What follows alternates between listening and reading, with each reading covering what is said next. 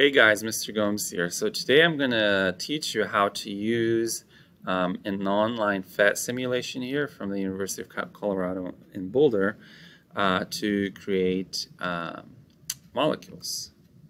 Not create, but just sort of virtually. Okay, so basically, and my camera is a little bit on the way, uh, so I'm going to move it over here.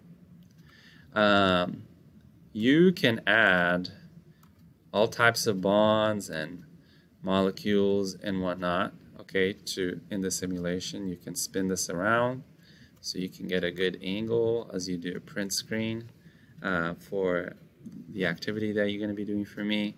Um, and that's that okay? You can remove things like this. You can remove everything and start from scratch.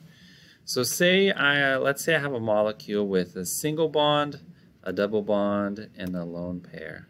Okay, it'll build it for me there.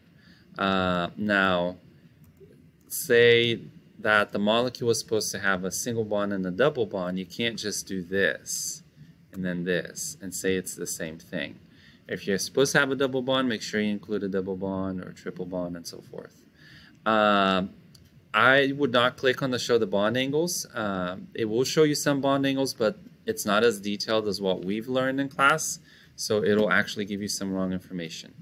And I actually did not teach you the difference between uh, molecule geometry and electron geometry, so sometimes you'll get uh, different names here. So I wouldn't rely on this to figure out what you need to figure out for a molecular shapes lab, okay? Uh, so use this to create your molecule uh, for you to take a picture uh, but then rely on the information that we went over in class to answer, answer the other questions. Okay, that's it.